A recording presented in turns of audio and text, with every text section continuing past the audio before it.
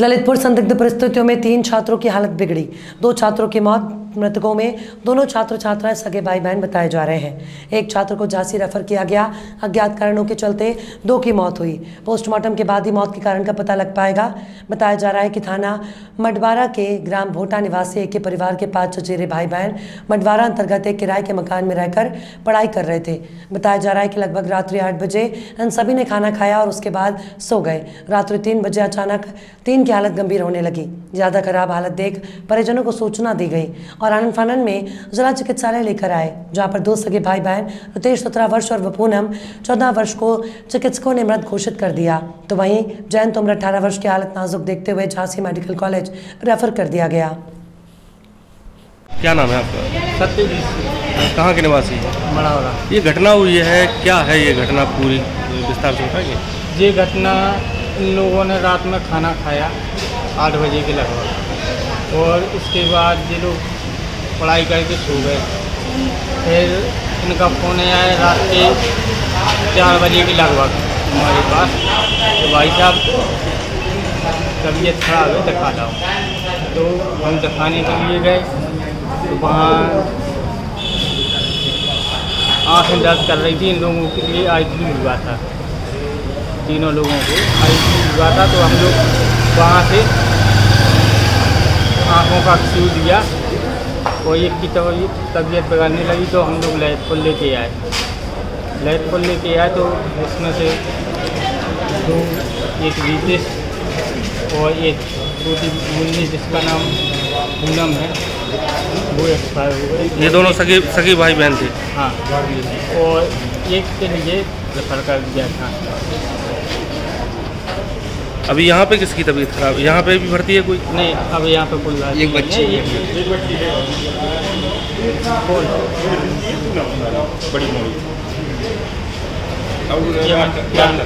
बता क्या नाम है बेटा?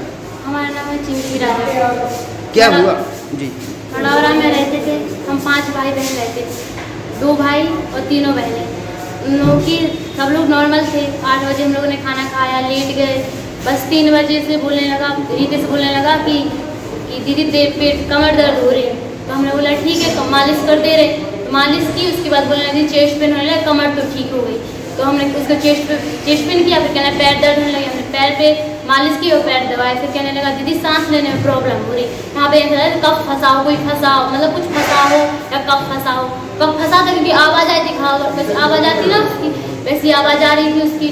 फिर कहने लगा, हम लोगों ने कहा, ठीक है, अभी थोड़ी मतलब चार बजे टाइम से ना हम गए, बस थोड़ा उजीला हो जाए, उसके बाद डॉक्टर के पास चल रहे डॉक्टर के पास ले गए, इतने मुन्नी की तबीयत खराब होने लगी, उसी के साथ बैठा कमर दर्द पेट पेट दर्द और बस, और गले में ऐसे कफ होने लगा। फिर हम लोग वहाँ पे गए डॉक्टर के पास डॉक्टर बोलने लगा कि ऐसे बिना चेकअप की दवाई नहीं कर सकते। एक काम करो, ललित को ले जाओ इसको। बाद चाचा आए, फिर हम थोड़ा वेट किया हम लोगों ने। फिर हम लोग पाँच बजे वहाँ से निकले। फिर छः सात साढ़े सात साढ़े सात बजे यहाँ पे आए फिर यहाँ पे डॉक्टर ने बोल दिया कि कोरोना खत्म हो गए और जहन रेफर कर नहीं हुआ कुछ भी नहीं हुआ। ये मड़ौरा का एक मामला आया है। क्या है सर ये पूरा मामला?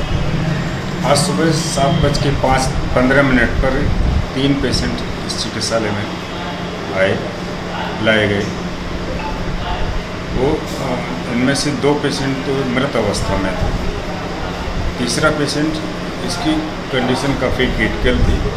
इसको एक चिकित्सालय में इमरजेंसी उपचार देने के उपरांत मेडिकल कॉलेज रेफर किया। सर प्रथम दृष्टया क्या लगता है? कैसे इन बच्चों की मौत हुई होगी? मृत पेशेंट को जो है प्रथम दृष्टि में पोस्टमार्टम के उपरांत थी जो मृत्यु के कारण सही पता चल सकता है। तीसरा पेशेंट जो क्रिटिकल अवस्था में था तो ये इतना डिटेल जानने की कोशिश नहीं की गई कि क्योंकि इमरजेंसी मैनेजमेंट प्राथमिकता पर था और उसको सुरक्षित अस्पताल पहुंचाना ये प्राथमिकता थी। इसलिए ये कह पाना अभी संभव नहीं है कि इन बच्चों की जो स्थिति बिगड़ने का स्पष्ट कारण है।